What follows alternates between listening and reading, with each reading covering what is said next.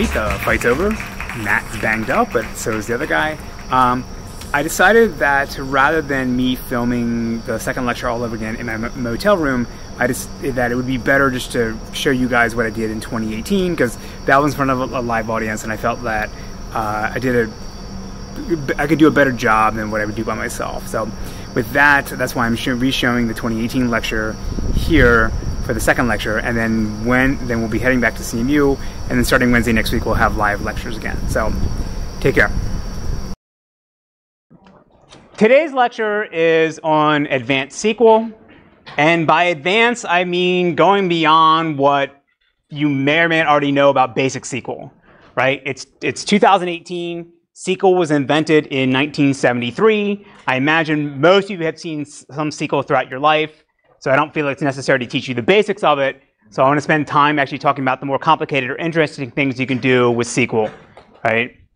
So just to pick up where we left last class, we were discussing the relational model and relational algebra. And we sort of mentioned that the with relational algebra, uh, sort of a, the goal was sort of at a high level to describe what the answer we wanted that the database system would compute rather than the exact steps of actually how to do it. So, right, so the way to think about this is like, say we want to sort our data. If we have, if, if to tell the data system exactly what to do, we have to provide it, you know, with the quick sort or bubble sort algorithm. But with a high-level language or declarative language, we just say, hey, we want you to sort this. We don't care how you actually do it, but this is the answer that we want.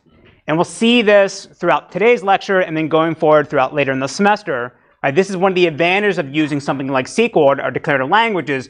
We don't have to tell the data system exactly how to do things. It can, it can figure it out on its own. And that frees it up to, to figure out what the most optimal way it is to actually execute the query that you want to execute based on the data that you have and, and the hardware that's available to you. So We'll see this later on when we talk about the query optimizer, but the query optimizer is this complicated piece of, of, of, of machinery inside a database system that's going to take our SQL query and convert it to the most efficient plan. And we'll cover how they, they actually do this later on, but I will say is that if you, uh, if you, you know, if you get involved in doing research on query optimization or just help working, you know, working on query optimizers, you can get a job yesterday because this is the one thing that every, all my friends at database company, companies email me about over and over again do I have any students that do query optimization? We've had some, and they, they all get off, go off and do awesome jobs. Uh, this is the one thing that everybody wants because it's really hard to do. So that's not the focus here, right? Just in the back of your mind, we'll see examples as we go along where a query optimizer could try out different things to try to come up with different plans.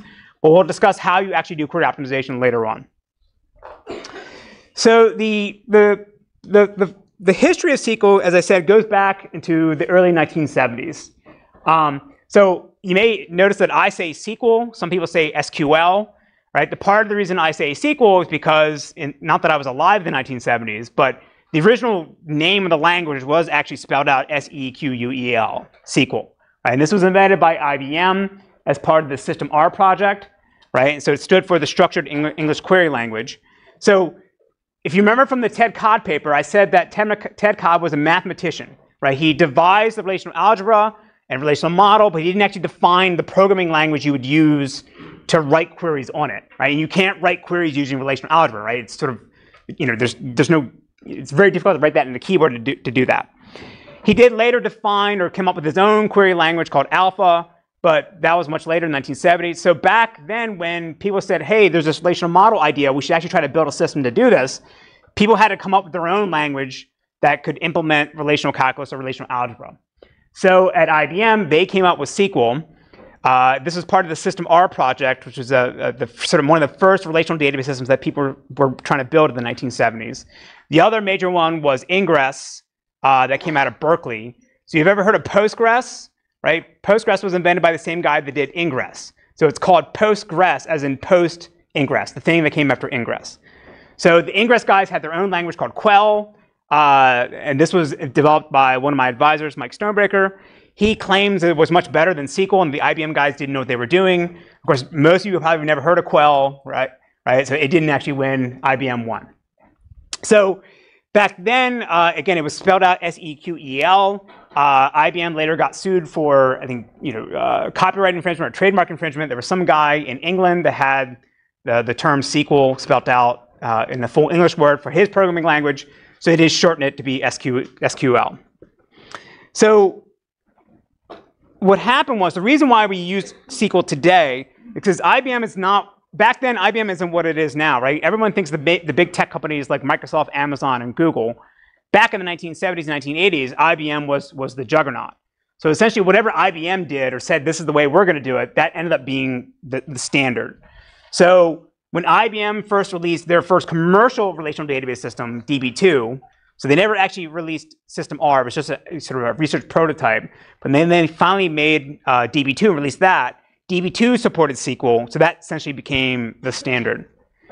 Um, and the reason why Oracle sort of took off and got as big as it is today is they were sort of copying what, what IBM was doing in the 1970s uh, in more ways than one. We can talk, talk about that later.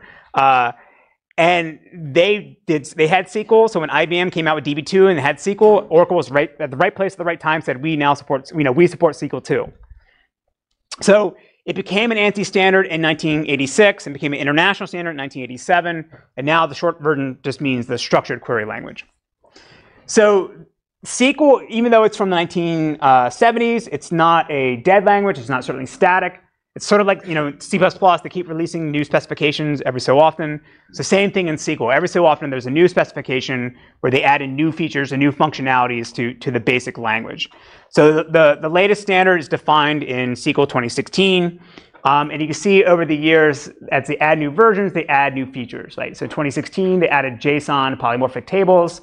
They added XML stuff. And then 2003, 1999, added regex and triggers. Typically what happens is there's a standards body that the members are all from the major database companies. And the major database companies come up with their own proprietary features and extensions, and then they go in the standards body and push to try to get their version of certain functionality as part of the standard, right? So this is, although there is a SQL standard, nobody actually follows it to the T, right? Because everyone sort of has their own proprietary things that got invented before the standard came out and said this is how you should do things. So if you're going to claim that your database system supports SQL, the bare minimum you need to have is actually what is defined in the SQL 92 standard. So this is what the basic SQL that we know about today, select, insert, update, delete, create tables, transactions, things like that. All that's defined in SQL 92. So again, if someone, someone says their database system supports SQL, chances are they, they really mean this. And then the more advanced databases, both in open source and, and the commercial ones, they add, they have a bunch more features from, from uh, from the newer standards. And then there's this great website here. It's a bit dated now, but it's go it's interesting to go look at. It's some random dude who basically looked at sort of the top four, top five database systems and just looked to see how they differ on, on various SQL features or various SQL functionalities. And we'll see this as we go through today. There'll be some examples where the standard says one thing, different database systems do other things. It's usually MySQL. Uh, and uh, this is just going even though there's a standard, nobody actually follows it exactly. Right? There's no database system that I, am aware of that would claim that they're you know, certified for SQL 2016. Right? They have bits and pieces of things. So SQL itself technically is not a single language. It's sort of a collection of things. Um, and in particular, it's a collection of a DML, DDL, and DCL uh, uh, commands.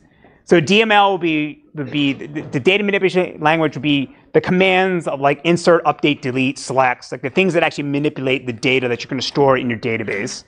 The DDL is the way you create tables, actually, or define schemas to actually store things. And then the DCL is the way you sort of do uh, security authorization to, to, grant, you know, who's allowed to read what, what, what data. There's a bunch of other things like how to define views, how to define integrity constraints, referential constraints, um, as well as transactions. Right? These are all part of the umbrella of, of SQL. Right? And within that, there's these different categories of, of commands. So the one important thing to, that I want to point out here, and we'll see this throughout today's lecture, is unlike in relational algebra, which is based on set theory or sets, SQL is actually based on bag algebra. So the way to sort of think about this, you can have like lists, sets, or bags. So a list can have duplicates, uh, but there, there's, there's a defined order. So if I push something to my list, that's its position in that list. A set is unordered, meaning the elements don't have a position, but you can't have duplicates. If I try to insert the same thing into a set, it just gets over, the, the old one gets overwritten. A bag has neither a, a, a set position or ordering, but it also allows for duplicates, right? And we'll see why we have to do this as we go along, because if we want to actually define order on our elements, or if you want to make sure that we don't have duplicates, essentially the database system has to do extra work to, to, to provide that for you. And so the idea is that only if you explicitly ask the database system to provide you ordering or provide you uh, to remove duplicates, it won't actually do it. And this will actually make things be, uh, be more efficient. All right, so the outline for today is we're going to cover aggregations, group bys, a bunch of operations on strings, dates, and times. Then we'll have to do output control. And then the more complicated things will be nested queries, common table expressions, and window functions. So for homework one, you'll need to do use all of these except for the window functions, right? Because you're going to be doing homework one on SQLite, and only actually the latest version of SQLite as of last week just added support for window functions. But everything else SQLite should be able to support. Oh, okay. All right, so for this, the, we're to use a sample database uh, comprised of three tables. So it's sort of a, it's a mock university. So we're going to have a student table where students have student IDs, names, logs, and GPAs. We'll have a course table with course IDs and, and name. And then we'll have an enrolled table uh, where we have a sort of, again, foreign key reference from the student table and the, the course table, and along with the, the, grade that the student got in the class. All right? We'll, we'll use this as our running example as, as we go along. All right, so the first, first thing we talk about are aggregations, right? And these are pretty simple to understand. It's basically a function that you define in, in the output list of your select statement that's going to take as input multiple tuples, a set of tuples, and it's going to compute some kind of aggregation on top of that and produce a single result. Right? So the SQL 92 standard defines average, min, max, sum, and count. And again, think of this as like, in case of count, you're going to take a bag of tuples as the input, and you're going to count the number of tuples there are. And that, you're going to produce a single output that has that, that, that count. Right? So again, so this is what's in the, the basic standard.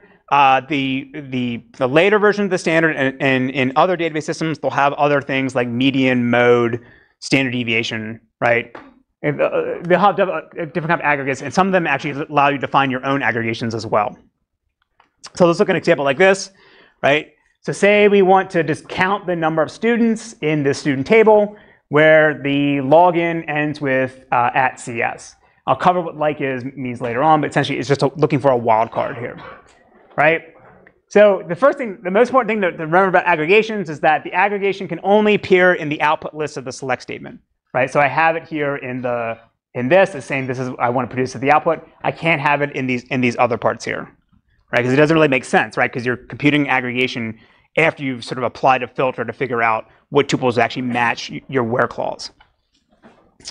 But the thing to point out here is that in the case of count, uh, again, we just want to count the number of tuples the login field here doesn't actually mean anything, right? Because we're just counting the number of tuples. It doesn't matter whether, you know, what the login actually is at the point after we do the filtering. So we can rewrite this just to have a, a star, right? The star is a special, uh, you know, special keyword in SQL that basically says all attributes for the tuple. We can go even further and say we can actually replace the star with a one, right? Count the number of tuples by just adding one every single time, right? So this is a good example where we have three different queries that all produce, are semantically the same, they produce the same result, but the database system could, could choose different flavors or different uh, variations of this in order to derive that answer. And some of them may have different performance differences. This one's pretty simple. Uh, so the, the, most database systems will be smart to realize I don't need to copy around the log in here. I can just replace that with a one. Right? Most systems will do that. Uh, but for more complicated things, it may, may not always work. We actually can combine aggregate, multiple aggregates together in a single query. So say for this one, we want to get the number of students and their average GPA uh, where their login ends with at CS. Right? So now you see I've combined it, uh, average GPA and count in my output, uh, output list for my select statement, and then it'll produce my, my result like that. Right? Pretty straightforward. I can also add the distinct keyword.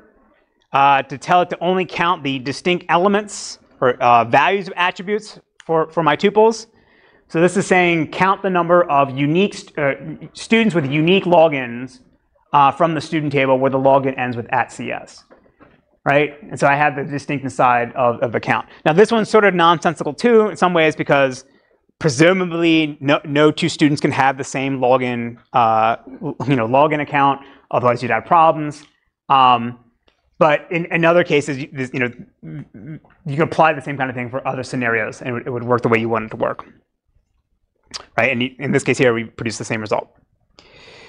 So the one thing that now you want to maybe want to try to start doing is now that I'm start doing aggregations, I want to get additional information about my data outside of just what I'm computing in my aggregate, right? So say that I want to uh, I want to get the average GPA of the students that are enrolled in the course, and I want to know what that course ID was, right? So in this case here, I've now added the course ID to my output list outside of my aggregation, right? Does anyone take a guess what would happen here? Would this work or not? Raise your hand if you think it would work. Raise your hand if you think it, it wouldn't work. You. Why?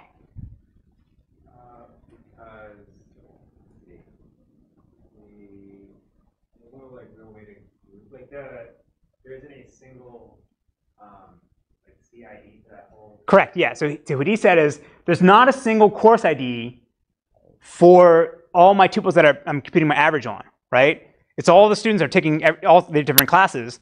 What course ID do I actually put as the output, right? It's it, the SQL standards say this is actually undefined, and and most systems you actually will get an error with this. We can actually test this, right? So uh, in this, there we go. Um, I have three, three terminals set up. All right, so this is running a machine back in my office. I have three panels. The top one is Postgres. The bottom one, or the middle one is MySQL, and the bottom one is SQLite. So it's much easier for me to type from this machine here, so I can log into that. Right? Okay. So the query was we wanted to select where was it? Get the average GPA of students enrolled in each course, right? So select average SGPA, E course ID from enrolled as E, um, student as S, where E student ID equals S student ID right? So Postgres says you can't do this because, as he said, the course ID, uh, and I'm highlighting here so you can't see that. So the course ID is not defined, it's not part of the aggregation, right? So it doesn't know which course ID you actually want. So now if we go down and try this in uh, MySQL, MySQL gave us an answer, right? But is that correct? No, right? Because what course ID did it pick? It picked a random one, right? And then now we can try in SQLite, same thing. SQLite gave us uh, a different course ID. So you see they both computed the, the, the, correct average, but they chose a different course ID, right? And just because I know the MySQL guys uh, watch this, these videos and complain, um, I will say that, so this is running MySQL in a, in a, so MySQL traditionally allowed you to do loosey-goosey things like this, right? So this would be running it what they would call uh, traditional mode, but you can set the SQL mode to be more strict. So now if I run that same query, it throws the same error that Postgres did. So by default, the, these MySQL 5.7 would now throw errors. In older versions, they did, didn't do that, right? Okay. So the way to fix this is to do group by. So with group by, what's going to happen is now we're going to define how we want to essentially bucket together uh, the tuples in our output based on one attribute. And then now we can then compute the aggregation on the tuples in each bucket. Right? So again, what I wanted to do was get the average GPA per course if I add now in my group by clause, I add the, the course ID, what will happen is when I first execute the query, uh, this is essentially what I would see after the join. But now with the group by clause, I'll combine together uh, the, the, the tuples based on the course ID. And then for each of these, now I'll compute my, my aggregate. Right? And now I can group them by course ID, and that corresponds to the buckets I generated from before. Right? So we have to use group by if we want to extract information about uh, the aggregations we're computing. Right? And so just like before, anytime we have a attribute that we want to appear in our output select clause, it has to appear in the group by. So here, the student name, we're trying to throw that in, in our output clause. It won't work because it has to be in our group by clause. Now this one is sort of, again, nonsensical. It technically corrects SQL, it'll produce the result, but from a human standpoint, we know it doesn't mean anything. Like, what does it mean to group by course ID and then the student name to compute the average GPA? right? The, the student's GPA is going to be their GPA. Okay, so now you may think, all right, well, maybe I want to do some more, uh, some additional filtering on my aggregations so that I don't look at, you know, I don't produce every single result uh, as part of the output. So you may think that you want to put it, uh, use the aggregations in your where clause. So here now, now I'm computing the average GPA, but I'm added in my where clause uh, something that says filter out anything where the GPA is is not you know greater than 3.9. Right? This is look only trying to look at the courses where the average GPA is greater than 3.9. Right. So this doesn't work because in our we can't access anything in our aggregations in our where clause because we don't have them yet in our where clause. Right. So again, the way to think about this is the where clause is filtering tuples as we go along, and after we do our filtering, then we can actually then compute our aggregation. So we can't compute, we can't use an aggregation to filter tuples because we haven't computed the aggregation yet. Right? So the way to get around this is to use the having clause. It's essentially like a where clause, but now you can reference anything in, in your output list. So I've taken my average GPA and I've aliased it to AVG GPA, and I can reference that down in here. And this will produce the answer that I want, right? computes the aggregation just, like before, and then it applies additional filtering on it. So now, not in this example, but there's other examples where you can do sort of certain optimizations in the system based on what you know is in your having clause. Right? Again, this is the great thing about declarative language. You know everything all ahead of time, what the you know what the programmer, the person wants in their answer. So you can use hints about what you know is going to come later in the query plan to help you do certain refinements or, or, reduce the amount of work you have to do as you run the query. So in, instead of using uh, average GPA, say I wanted to do uh, a count where the number of tuples are less than some, you know, for each group, less than some value. So as I'm going along, as I'm computing my ag aggregate, if I then recognize that, oh, my, my having clause says filter anything less than 10 tuples, if I, if I now hit tuple number 11 for a group, I know that I never need to count anything else for that for that tuples that come later because it'll never pass that having clause. So I can just throw away those tuples as I go along because it's, it's wasted work. Right? If you're writing this in a procedural language like Python, all right, where you had to write these steps you know, by, by yourself, the, you know, the, the data system's not going to know what's going to come later on because it can't peek ahead. Right? But in a declarative language like SQL, we can do that. So the next thing we want to talk about is how to handle strings. Uh, so this is a table that sort of summarizes the, uh, the different variations of how strings are handled in, in different database systems.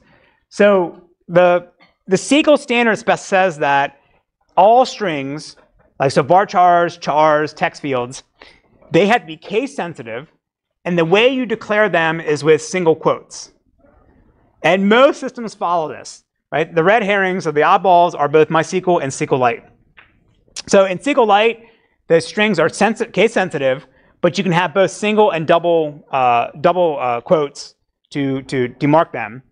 In MySQL, it's case insensitive, and you can use either single or double quotes. Now, my problem is that when I first started using database systems back in like 2000, I was using MySQL 3, uh, and it's like it's like you know ingrained in my memory to just use double quotes because that's what we, we used back then. So I'm always have to correct myself every time I switch over to another database system to go always go back and use single quotes. Um, MySQL again has the mode you can say to follow the standard a little bit better, and they then enforce uh, the single quote requirement. But I think by default you don't get that, right? So in the SQL standard, say you want to take the name, uh, you want to take the you know the name of Kanye and have it match with uh, Kanye with you know mixed case in uh, in in the SQL standard, you have the uppercase using the upper you know the upper function to make this match work. In MySQL, you don't have to do that, right? Because all the, all the strings are matching are, are case insensitive. Now I showed this before how to do like clause, but essentially it allows you to uh, look for uh, string matching, right? So like is basically doing you know trying to match some wildcard in your string uh, with, with, with another string. So for whatever reason, instead of using star, like most other things, they use the uh, percent sign. So percent sign means uh, any one or more strings, and then the underscore means exactly match one character. Right? So say I want to get all the course or the, all the, the course IDs from the roll table that start with uh, 15, so 15, 445, 721. I would use the the, uh, the percent sign like that, and say if I want to get all the students where the, the, the login ends with at C and then some wildcard, I would use a single underscore for that. So the SQL standard also defines a bunch of string functions. Um, there's, a, again, the standard things you would expect, like substring, uh, upper, lower, uh, trim. Right, these are all part of the SQL 92 standards, and most systems will have this. But of course, there's going to be a bunch of other stuff that are proprietary uh, in each different database system. So the thing to point out, unlike aggregation functions with string functions and you know mathematical functions and date functions, they can appear anywhere in the in, in your in your queries. So they can be in the select output list, they can be in your predicates, right? They don't always have to be in the in the, the, the select portion. They can be in your having clauses. So here we have, uh, you know, the first guy, first query is going to take the, the name and take a substring and just get just get the first five characters. And then the second one we did we showed before of doing matching where the uh, the the uppercase version of the student name is uh, begins with K K A N. So again, string functions are for the most part the basic ones will be pretty much standardized across all systems. Where things get weird is when you want to start doing concatenation. So the SQL standard says that you use two double bars to concatenate two strings together, um, and most systems follow this. Uh, in my opinion, I would say Postgres and Oracle probably follow the, the, SQL standard the best out of all the systems. Uh, SQL Server and DB2 are probably next. SQLite, then probably MySQL is the worst. Um, so you want to say, say concatenate the student name and add at CS to it. Use double bar in the, the SQL standard. In SQL Server from Microsoft, you use the plus sign. In MySQL, they don't have the plus sign. They don't have the double bar. They only have this concat function uh, where you basically define as the input parameters the things you want to concatenate together. They have something else that's kind of weird too, where you can actually have, uh, if you don't put anything between two string literals, that'll concatenate them together. So to show you what I mean by that, so here we have MySQL. So I can do something like this, A N D Y space P A V L O right? Nobody else does this, as far as I know. Let me double check that before I lie to you. Let's try it in, uh, yeah. Postgres doesn't like it. SQL Server doesn't like it either, right? Only MySQL does that. All right, so now where things get really, really bad uh, is when you have date and time functions right? So a date basically again just records the timestamp without the time. Timestamp is is the time. Now they vary on the granularity of the time they may be tracking. Sometimes it's in seconds, sometimes it's in milliseconds, or something even more fine-grained than that. Um, but where things get get wonky is how you actually start manipulating them and extracting them, uh, extracting information from them, right? And so the syntax for all these different systems can can can vary wildly. So for this example, what we want to do is I want to show you how to do what I would consider a seemingly easy function or easy operation. Get the number of days from today to since the beginning of the year. And we'll see how to try to do this on these three different systems, okay? So the first thing is that we want to get maybe what the current time is. Um, ah.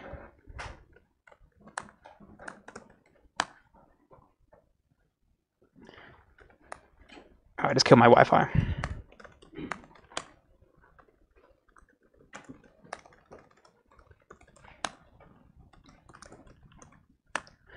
Okay, back, okay. All right, so the SQL standard defines a now function. Can everyone see that or no? In the back, guys, can you, can you see it? Okay, cool. So you call now, and it gives you the current timestamp.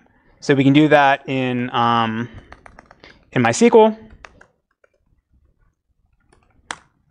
And we can do this in SQLite. But you can't do it in SQLite, all right? So, all right, so there's another way to do this. They have another function called uh, current timestamp, right? Except Postgres doesn't have it, but they have the keyword current timestamp. MySQL has the function, and it has the keyword. All right, SQLite. Who says it has the function? Raise your hand. Some. Who says it? Who says it has the keyword? All right, it's mixed. All right. They don't have the function. They have the keyword. All right. Again, simple thing like what's the current time? It varies. All right. So now again, we, what we want to do is we want to count the number of days since the uh, since the beginning of the year. All right. So as a building block, what we can try to do is maybe just get what the number of days is from, from today. So in this query, what I'm doing is uh, I'm taking a date listed here as a string, right? So I'm taking the string for today's date, and converting it into a date, and then I have the extract function, which will extract out the, the, the day field of the date, right? So as expected, you get, you get 29, right? We can try that in the, in the other guys. It gives you 29. They don't have it, all right? So, but now we can see that like, all right, well, if I can, if I can cast uh, a string for the date into a date, what happens if I just subtract them, right? Right, so I'll take today's date and subtract the it from the, the, the date from the beginning of the year. And in Postgres, we get it, 240 days, right? MySQL, 728. I don't know what that means, right? Like, it's not like 240 times 2 or some, you know, some multiple of it, right? It's just, it's a number, right? It ran, but it's not what we want, right? So now let's try it in, uh, in SQLite. SQLite gives us 0. Okay. So it works in Postgres, so now we got to figure out how to do this in MySQL. Well, so what we can do is uh, we we try to extract the, the the the day from. So maybe we take what we that 728 we had before, right, and we extract the day from it. See what that means, right? It came back with 28. So that's not really what we want. So the way to do it actually is a bit complicated. Um, what we're going to do is we're going to convert the dates into Unix timestamp, which is the number of seconds since the Unix epoch, which is like some January 1st, 1970, right? And now we're going to have the number of seconds from, from the current date, the number of seconds the beginning of the day. We subtract them, right? And that gives us the number of seconds between now and the beginning of the year. And then we're going to divide that by 60 seconds times 60 minutes times 24 days, right? We got 240, right? Turns out, though, after I did this the first time, there's actually an even easier way um, in MySQL. They have a simple function called datediff, and that produces, you know, the same answer, right? SQLite, uh, oh, foreground. Let me, that, let me try to make this a little bigger. There you go. In SQLite, they don't have date diff. You can't subtract days with each other.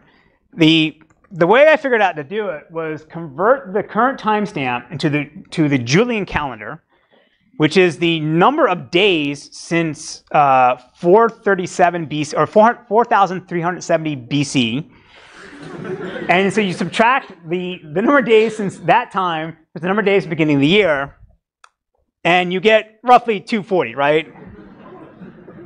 All right, and, and, and we, can, we can cast it to an int, and we get 240, right?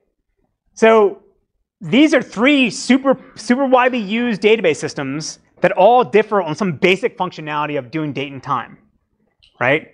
Actually, a quick show of hands. Who think, uh, of these three ones, which one do you think is the most popular, most widely deployed database system? Raise your hand if you think MySQL. About a, about a quarter. Raise your hand if you think Postgres. Even less. Raise your hand if you think SQLite. Even less. The answer is SQLite. So uh, a few years ago, we had Richard Hipp, the inventor of SQLite. So SQLite is amazing. It's written by three dudes, right? Uh, they, it is, he approximates that it's been deployed on 10 billion devices. Everyone here who has a cell phone, right, that isn't a flip phone or an old person phone, is running SQLite on it right now, right?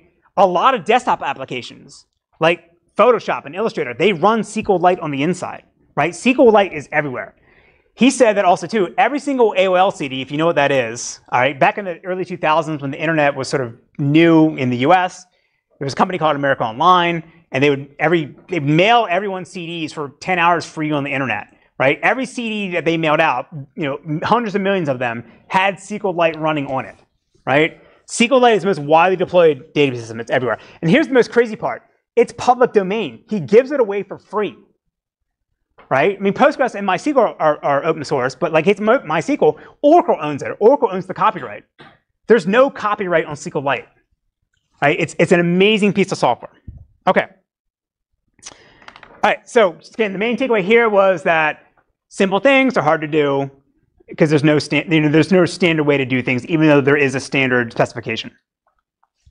All right, so now maybe what we want to do is instead of having the you know, in my examples, um, I had the terminal open. Every time I ran a query, the, the output got printed back to me in my terminal. But maybe what you want to do is keep all the data you, you, you generate from a query, keep that inside the database system so you can use it in subsequent queries. Right? This is way more efficient if, you're, if, you're, if, you're, if your query is generating a lot of output. You don't have everything sent down to your laptop and then push it back up to do more queries on it. So you can do output redirection to tell it to say, hey, don't print it out to me, write it out to this location. So one thing you can do is you can take the output of a query and you can write it into uh, another table, right? And so you, in the SQL standard, you can use into, and this actually will create the, the, the, table for you on the fly. So whatever is produces the output of the query, right? Again, this is declarative. The data system already knows what the schema is of the table, so it knows, in this case here, what the type is of this output is going to be. So it knows how to define a table that has that, that can handle those types right? So into basically takes the output of select and writes it into a table. In, in MySQL, you have to use the create table, and then inside of it, you define your, your select statement. Uh, you can also have it output data into an existing table. Um, and for this, you use insert into, which looks a lot like the create into or the create table from, from before. And then instead of having the value clause, you actually just have a select statement just to tell it, hey, get this data and write it into here. So the important thing about this example versus the previous slide, this is about writing tables into tuples into tables that already exist. So that means that whatever the uh, whatever the type, uh, the number of attributes and their types that are produced by the select statement, whatever table you're writing it into has to match that, right? If, if the, the select statement has four, four columns and your table you're writing into has three, the data system will throw an error and says, I, I can't write into that because the attributes don't match up. Now, where things get weird is when you start having constraints that are on the table you're trying to write into, and the select statement actually violates those constraints. So let's say that I have a primary key on my table that says I can't have any duplicate student IDs, and then my insert query here tries to start, in, start inserting duplicates. Some database systems will throw an error immediately as soon as it sees a duplicate, and no tuples get written. Some of them will just keep going and ignore the ones that, that failed. Other ones will, will insert the ones that succeeded and just ignore the ones that failed, or maybe just crash right away. right? So again, the SQL standard says this is the syntax to, to use, but how the systems actually implement it will vary widely. In addition to output redirection, we can also do output control. So remember I said at the beginning, SQL is based on bag algebra, meaning it's unordered. But there's many times where you want the ordering uh, in your output clause. And so to do this, you add the order by clause. So you're just basically specifying how to sort the results that are being generated by, by this query. Um, so in this example here, I'm going to sort the tuple, sorry, sort the tuples from the enroll table gonna, based on uh, their grade. And by default, uh, even though I don't specify whether I want ascending and or descending, the default in SQL is that you get ascending, right? You get output like this. But I also can add additional uh, attributes to my order by clause to do more complicated things. So in this case here, I want to do my order by by grade in descending order, and then after that, I sort them based on the student ID in ascending order, right? And I would get output like this. Now, the, the important thing to point out here also too is that unlike the, in the group by clause, where I, any attribute that I want in my output list had to appear in the group by clause, in order by you don't have that restriction, right? And actually goes both ways. In this case here, I'm sorting by the grade, but the grade isn't part of the output, right? It doesn't matter, right? It, it knows how to, how, to, how to find the data that it needs as, it, as it's processing the query and do whatever sorting operation that you want to do on it. I can also do more complicated things. I can put any arbitrary expression in my order by clause as well. So I can do order by 1 plus 1, right? And that's still valid. It knows how to handle that. Another common thing you want to do is, is limit the number of tuples that are produced in your output, right? And of course, there's a, there's a limit clause for this. You basically specify, it says, I, for all the results that you, of my, my query, only provide me back some number of them, like 10, right? And this is very common for things like, you know, if you say like search results, you'll see it show just 10, and then you click the next button to go see the next 10, right? This is being controlled by, by limit and, and actually offset. So limit just says limit the number of tuples. Offset is going to tell you that uh, at what offset of the number of the tuples you're producing as your output should you skip before you start figuring out how many you, you should limit. Right, again, if you think of a web page to show you 10 results, you click next to see the next 10, they're using a limit with an offset to, to make that work. Now, because it's unsorted again, there's no guarantee that when you click next, uh, if you're using an offset, you're going to see, you know, you're definitely going to see different tuples because that's another invocation of the query, and the results may be different in, in, different order the second time. So in this case here, you would combine that with an order by clause so that you're guaranteed to go, you know, see the first 10 followed by the second 10 and so forth, right? And there's optimizations you can apply uh, whether or not you have an order by clause if you have a limit clause. So if I don't have an order by clause and I have a limit, I know that as soon as I see 10 tuples, I'm done. I don't need to go look at anything else. If you have an order by, then you have to sort, you have to see everything ahead of time to sort it. Then you can apply your limit and you're all set. All right, so again, I, I consider that somewhat basic SQL. Uh, in previous years, I actually skipped all this, but I, I think it's important maybe to go, go over it a little bit because you have to understand this for the homework. But now we want to talk about more, the more complicated things. This is what I would consider advanced SQL. So the first thing we want to talk about is, is nested queries. So the way to think about nested queries is basically allowing you to specify queries inside of queries, right? And you can take the output of one query and use that as the input of, of another query, right? So think a simple example like this. Um, I'm doing a select. I want to get all the names of the students that are enrolled in at least one course. So I have my outer query is defined based on the student table. And then inside of that, I have an inner query that's just going to get the student IDs from the roll table. Right? So we could write this as a join. This is sort of an another way to actually do this. And in actuality, when it comes time to actually implement this in, inside the system, most query optimizers will try to rewrite this as, as a join. Right? Because the worst way to actually execute this is to essentially have two for loops where you loop over every single tuple in the student table. And for every single tuple, you then reinvoke the same query over and over and over again. MySQL used to do this. Uh, more primitive data systems used to do this, but the, the right way to do it is actually just rewrite this as a join, right? So you can sort of think of this inner query as like a function that's going to produce some set of tuples as your output, and then you can apply whatever predicate you want on that in, in the outer query. So we'll walk through a bunch of examples of this and see how it works. So the all right, so the first example we want to do is maybe we want to get the names of all the students that exist in that are enrolled in uh, 15445. So the way to construct a nested query is, I think it's always important to start maybe with the outer query and think about what's the actual answer you want to produce. Like what, what are the actual attributes you, you want to see?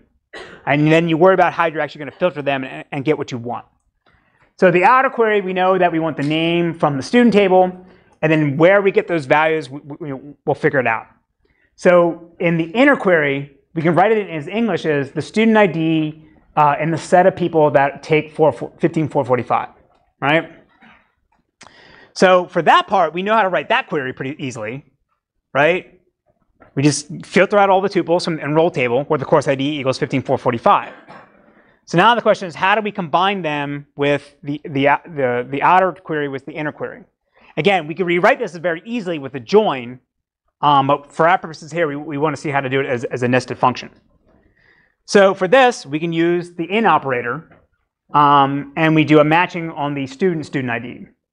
So the way to now read this is that the for every single uh, student in the student table, so this first student ID is matching up with the student table, I want to see whether there's a match of that student ID in the set of all student IDs that are in the enroll table that take the course 15445. So we execute the inner query, we produce the set of all student IDs, and then for every single tuple in the outer query, we check to see whether it exists in that set. Right? And again, this, this shows you why I was saying before, the stupid way to execute this is for every single tuple in the outer query, re-execute the inner query over and over again, right? That's stupid because we only need to produce the inner query once, and then we can reuse it for every single tuple uh, in, in the outer query. So I showed how to, in that example, I used in. Um, there's other operators you can use.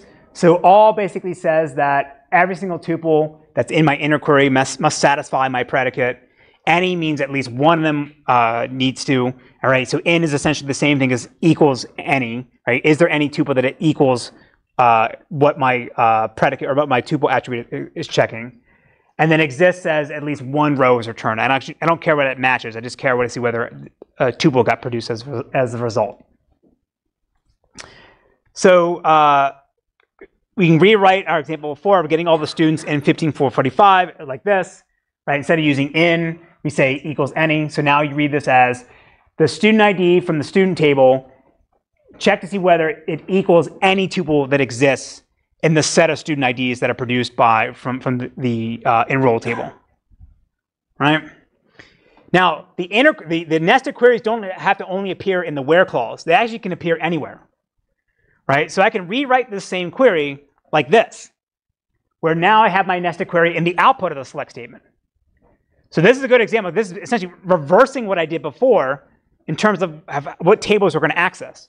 So now the way to read this is that for every single tuple in the enroll table, uh, where the course ID equals 1545, 15445, I'm going to then do a matchup in the student table where the student IDs are the same. Right? This is essentially doing a join uh, inside my output of my, my select statement. Right? Because now this student ID is being referenced here from this student table, and that student ID is being referenced in there. Right? And this is another good example. Again, I'm essentially reversing the order of how I process my tables, right? And they produce the exact same result, but they may have different performance characteristics based on what my data actually looks like. It may be the case that this is actually faster to go through the enroll table first instead of the, the student table, um, and therefore we could rewrite it if we wanted to uh, to choose one versus the other. And a good optimizer could do this for you. Okay? All right, let's look at something more complicated now. All right, say we want to find the student record with the highest ID that's enrolled in at least one course, right? Seems pretty simple, but let's think about how, how we actually do this. So the first approximation would be something like this.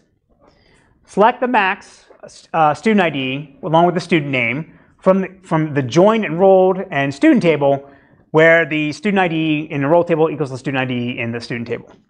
Will this work? Why? Why not?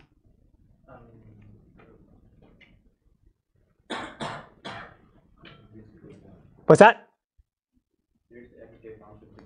Uh, yeah, there's an aggregation function without a group by, and we're referencing a column that's not in the aggregation, right?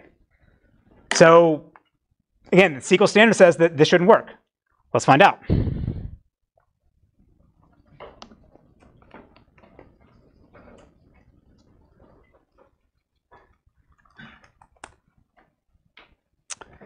All right, so again, we have, um, I gotta disconnect. Postgres at the top. So we run our query here. Again, Postgres adheres to the standard. It says exactly as he said. So you have student ID, student name appears, but it's not a part of a group by, so you can't use it, right? In MySQL,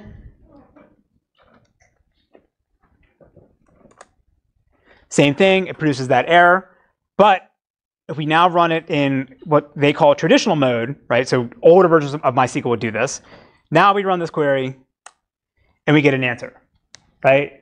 We have the max student ID, and then we say that the name of that student is Tupac, right? Let's try it in SQLite. Oh, wrong one. It produced an answer, it also produces 53688 as the max student ID, but it says the, the, that student belongs to Justin Bieber, right? And actually, I don't know what the right answer is. Let's see here.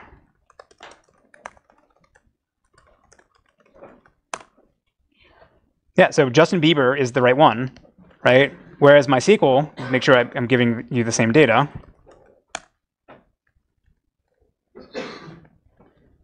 Right? Tupac is actually the lowest right? So it got it completely wrong, right?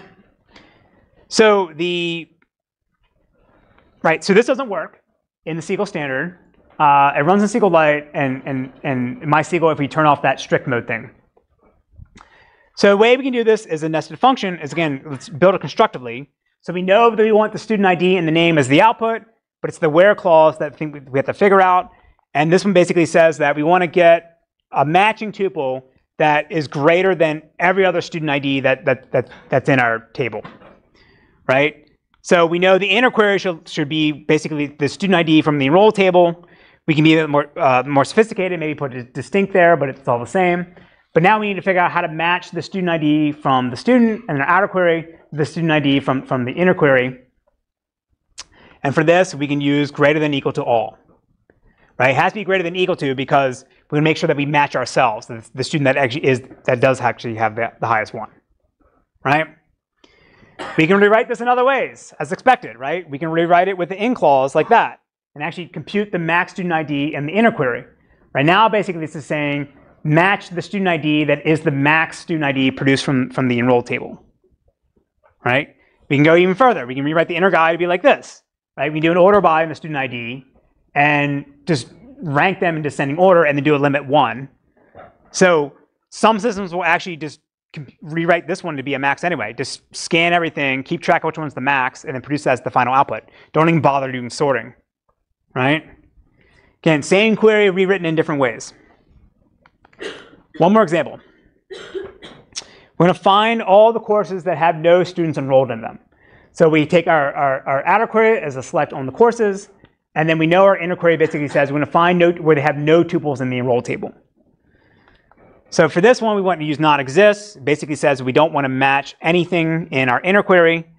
Um, and all we need to do that for the inner query is, is just, uh, just grab every single tuple. And here now we're actually matching up the, the course ID in the inner query with the course ID from the outer query. So you can only do this in one direction. So if you're the inner query, you can reference the outer query. If you're in the outer query, you can't reference the inner query, right? Unless you pipe it out or redirect it to a, a, a table. So any questions about nested queries? Again, they're very powerful. Many times you cannot write what you want to write uh, in, in, a, in a single query without using nested queries. Yes? Can you think of um, inner queries as uh, like a nested loop? her question is, can you think of an inner query as a nested for loop? Uh, yes, but no. So we'll see. For loop has a notion of like ordering. It's it's really a set, right? So all those operators like in, ex, exists, any, those are just trying to say for the entire set of tuples that are in the inner query, check to see whether any of them matches. You're not so you're not really iterating over every single one. You can think of the outer query as sort of as a for loop because you're iterating every single tuple, but then the, the set portion, uh, the evaluation of the inner query is always at sort of a, at a bag or set set level. Make sense? Okay. Window functions. So window functions are, uh, I would say they're new, but they're like 15, 10 years old now, so they're not like not brand new. Um, a lot of systems don't support them, but the, the major ones do. Uh, so a window function is sort of like an aggregation um, where you're going to compute some uh, some function on on tuples, but rather than doing it on you know a, a, a subset of the tuples and collapsing them down into a single result, you sort of do this in a incremental fashion or, or a moving fashion. Um, and then you still produce the tuple as the output, but along with the value that it produced from the window function, right? So the, the basic syntax is like this. You have the function name, and then you have an over clause. So the function name will be our aggregation functions and other special window functions we have, which I'll show in the next slide. And then the over, the over clause defines how we actually want to slice up the data, right? This is sort of like combining together the, the, the aggregation and the group by but in, in a single clause. So the function is like the aggregation function, the over is like the group by. So the aggregation functions will be all the, the, the, things in the SQL standard that we talked before, min, max, average, count, sum. Um, the special win functions can do things like introduce a row number to the current row, so to keep track of the tuples as being output and then marks them with what order they're, they're coming out. And then rank would be the order of the position of a tuple if we're doing sorting.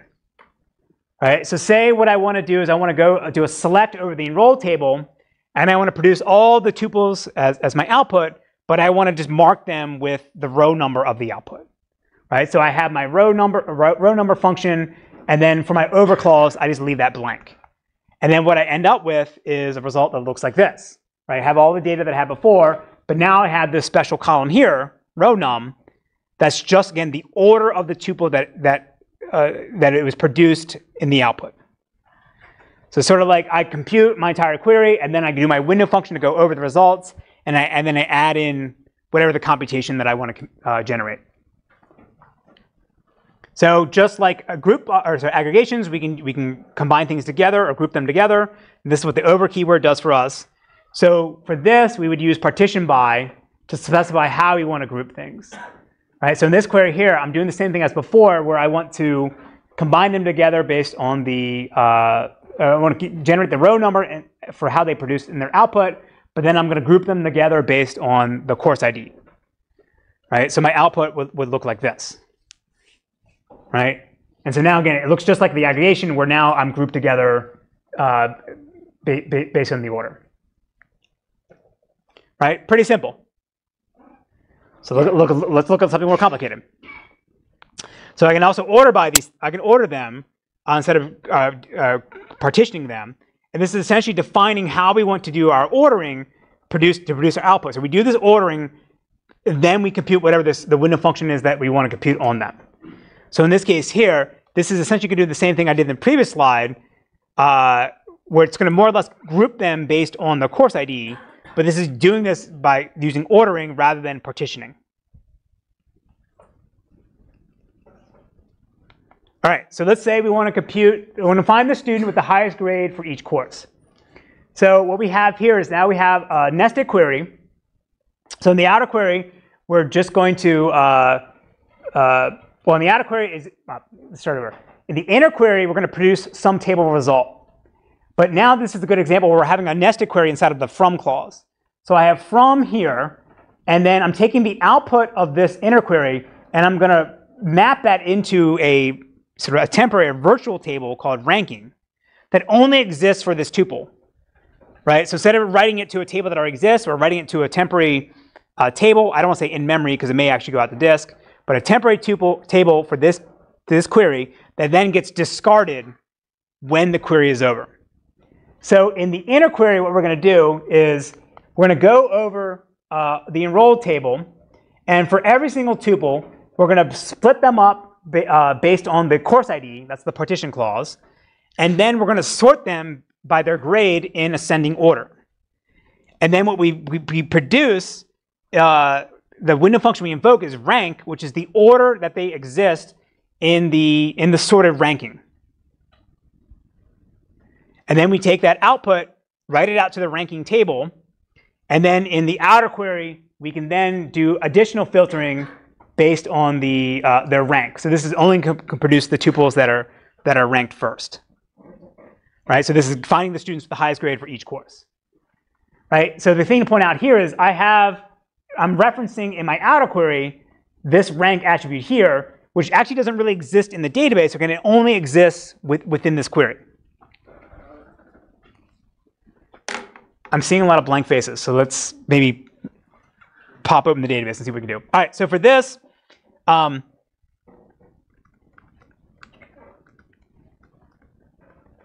so Postgres is the only one that, that actually supports this. Um, MySQL 8 supports window functions. And the newer version of SQLite supports window functions, but for simplicity, we'll just do my uh, in Postgres. All right, so this is the query that, that we had before. Right? Let's break it up and make it and just do the inner query first, and that way it'll be sort of easier to understand. Right? So we'll just go back and run this. Now. So again, what this is going to do is going to go over the uh, enrolled table. It's going to partition each record based on the course ID. So you see that here where 15445 appears first, then 721, then 826. And then now within each of these partitions, it's then going to sort the tuples based on uh, their grade in descending order or sorry, in, in, in ascending order. So B becomes for C, A becomes for C, and then there's nobody else taking 826, so it, the B is by itself, right? So that's how we got that output in the, in the form that, that we, we, we defined. So now the rank function is going to be computed based on where each tuple appears in the sorted output list. So in this case here, this first tuple in within this partition, this guy came first, so he gets rank one. This guy came second, so he gets rank two. Right? If I change this now to be in descending order, it, does, it still does the same thing. But I could do an order by again. And now I want to go in uh, descending order. Right, well this is, this, is this is doing the order by, this did the order by after I did my window function, so it doesn't really make sense. But the, the, the main thing, the, the, the rank is different than the row number because the row number says where do you appear in the output. The rank is where do you appear in the sorted ordering. Okay? Yes? So if you have a rank without an order by inside the Say it again, sorry? If you have rank without order by So, he says if you have a rank without an order by, we'll just return a random order. Well, you'll still get it ordered by, what you'll happen is you'll still get them probably split by partitions. Doesn't have to be because it's unsorted, but that's what you'll get. But now here, yeah, so there, in this case here, there is no uh, sort ordering anymore, so everyone has the rank of one, right? But it still grouped them up together based on what I'd find as my partition. And that's more of an artifact of how the, the data system, database system actually executed the query rather than the semantics of the query itself. Do you know the rank function now again? Does it just like His question is, what does the rank function do? The rank is the rank of, the rank function produces the rank of the sort order. okay? Right, so if I change my window function to be row number, well, I have my partition, but but it's one two one two one, right? Because within each partition, that's what I appear. So if I remove actually the partition by, then it should go through one through five. right? Like that. If I change this now to rank, everything should be 111, right? Because there is no sort order, everyone's first. Yes?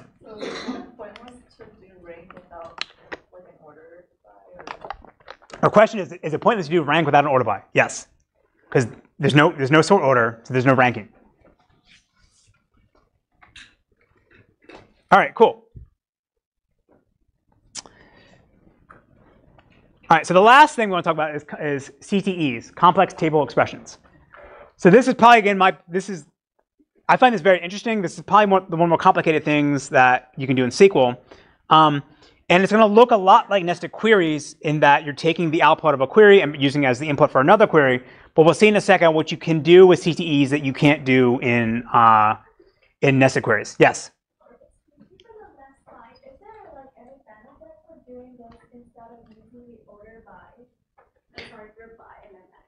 So her question is, in the case of this, is it this particular query or just in general? In general, when you're using the rank by, rank. So her question is, is there a particular advantage of using rank with a window function over using a, a group by? Uh, so again, if you use a group by, that's not going to generate the same, you're not going to get the tuples as, as part of the output anymore, right? So if I go back, um, so say I do this one here, right? Row number by partition by. So if I go back and I say I want to compute now like the the max uh, grade, um, from enrolled, group by course ID. Like I no longer see what the original tuples were because they get collapsed together in the aggregate function. The window function still produces all the tuples that were in your output, but I can now see them as, I, I, I, can still see them as the output. So if I go back here, and if I, this may or may not work, but let's see. So maybe I try um, max grade partition by course ID. Yeah, so here, um, that didn't quite work either.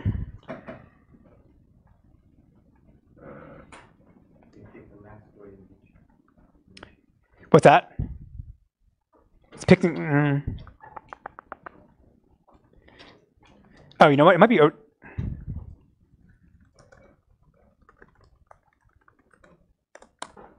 No, they didn't like it. There's the rank. Um, oh yeah, because I'm an idiot. Sorry. Yes, it did work. I was. What I want is min. Yeah. So the highest grade 15445 is was was a B, right? So I still see my original tuples. I, I still see one student got a C, one student got a B, but the max for that group was B. So I, I didn't lose the original tuples. Now, you and your application code have to derive meanings from this output to get, you know, get the one field that you want. But this allows you to, again, still keep the, the tuples uh, in a way you can't with a group by. That's a good question. Yes? This question is, can you use row number after you use an order by? So something like this, right? And then maybe order by.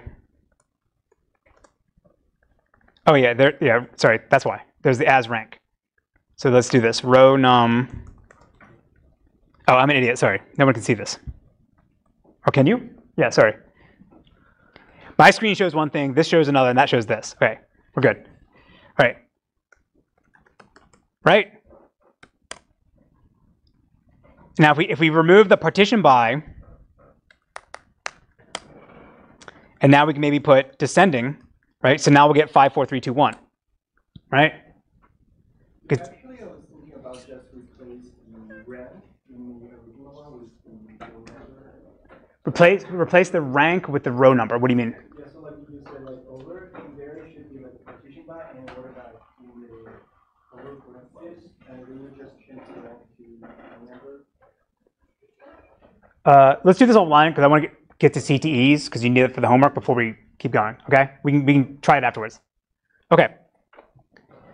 Uh, all right. So CTEs, the way basically is going to work is that you're going to have you're, we introduced this with clause. This with clause is like a query that's going to execute before your, your regular query.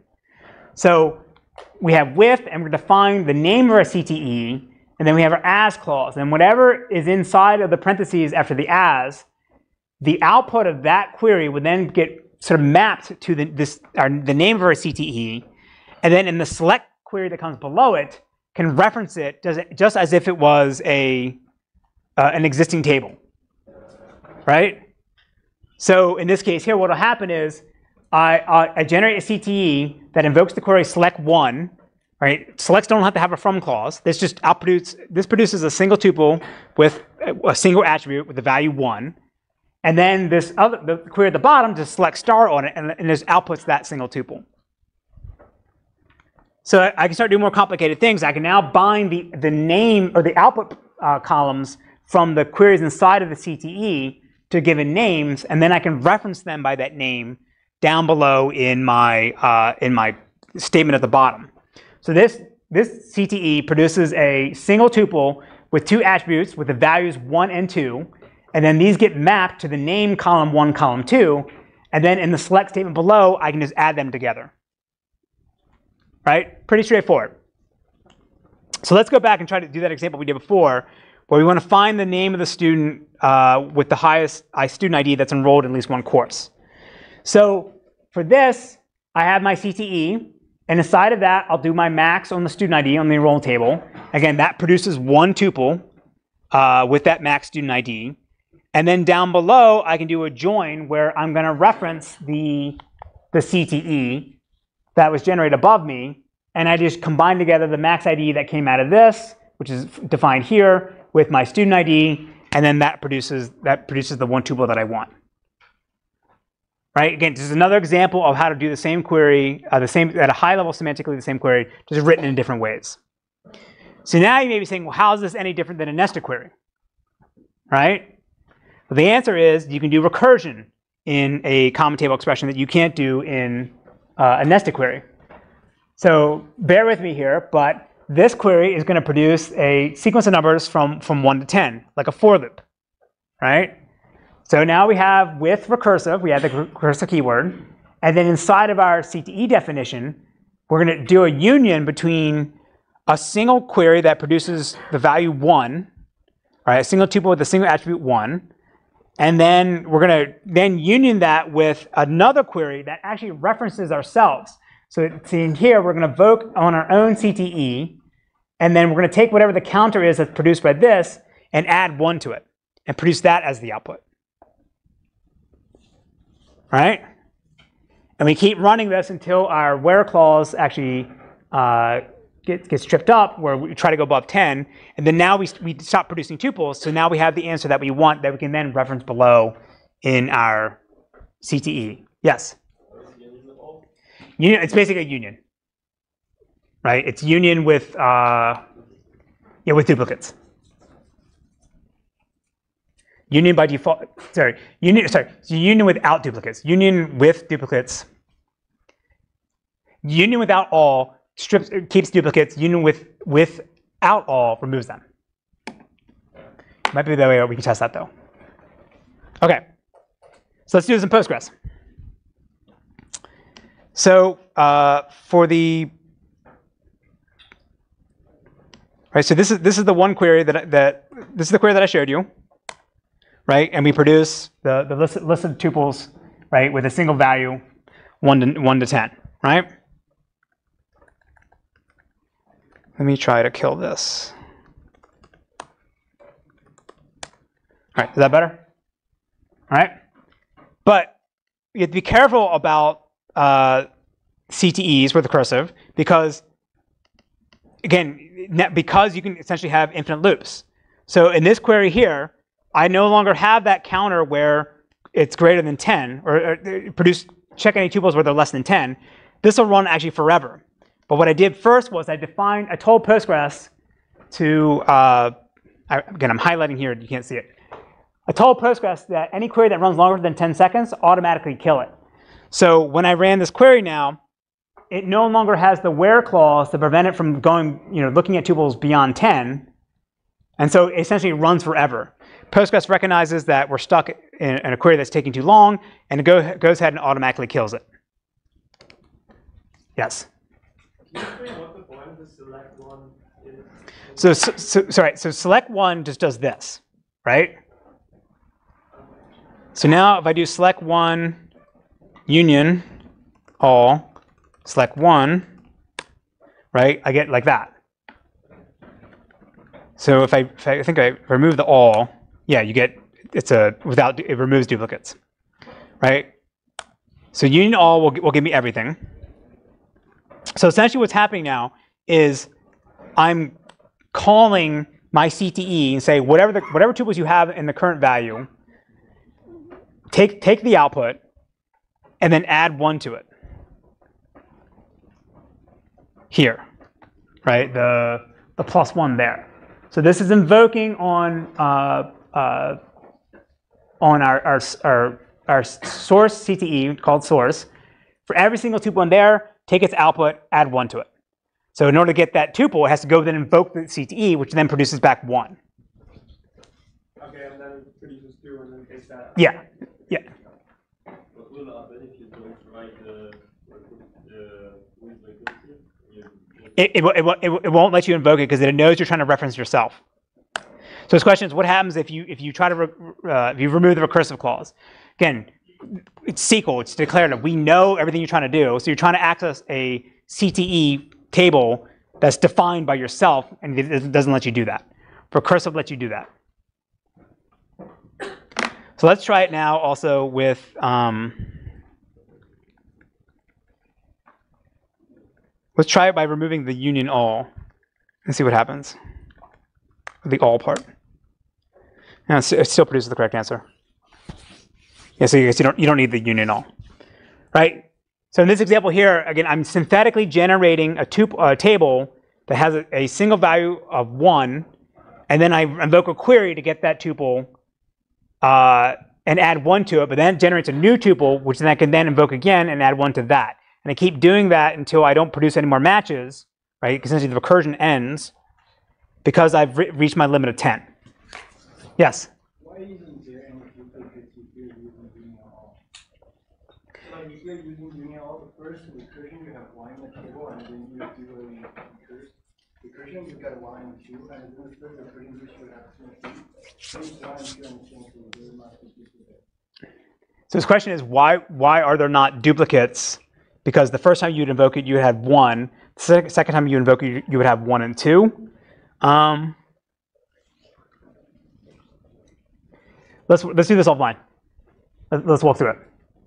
Because again, we have we're out, of time. All right. Yes, quick.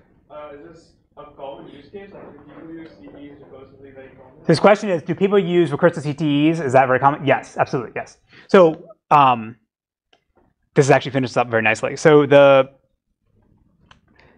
the second point I'm trying to make here is that in an ideal scenario, you always want to have to, to be able to compute an entire query without having to bring any data locally, or without having to go back and forth, right? So in a it, it also provides by running it as a single query, although the complexity it makes it harder to do query optimization. But if you tell the data system everything you want to do with this sort of piece of data, then it can do a global optimization on that. So by having a CTE, you're not having to have additional logic be somewhere else outside the data system or go back and forth. You're saying, here's everything I want to do. So CTEs are actually very common, especially in newer applications. Recursive CTEs, uh, maybe less so, but definitely CTEs. But again, it's another way to write a nested query. All right, the other major thing that I want to point out is that, again, the language is from 1973 or 1974, but it's still widely common, commonly used. Uh, it's being updated all the time. Um, and learning SQL is important because you're going to see this again throughout, throughout your entire life. Pretty much every single system, database system that, you know, it- with some minor exceptions, is going to support some variant of SQL. Oh yeah, coming through with my Shaolin crew. Two cent for a case, give me St. Ides brew. In the midst of broken bottles and crushed up cans, met the cows in the jam, oh how dry. With St. Ides in my system. Crack another, I'm blessed. Let's go get the next one and get over. The object is to stay sober. Lay on the sofa. Better yet, down my Call me the shoulder. Wallaby champ, stressed out, could never be son. Ricochet jelly, hit the deli for a cold one. Naturally blessed, yes. My rap is like a laser beam, the pawns in the bushes. Say nine, spin like canteen. Crack the bottle of the St. I, sipping through those who don't realize the drinking ain't only to be drunk. You can't drive, keep my people alive. And if the saint don't know you from a can of paint, paint,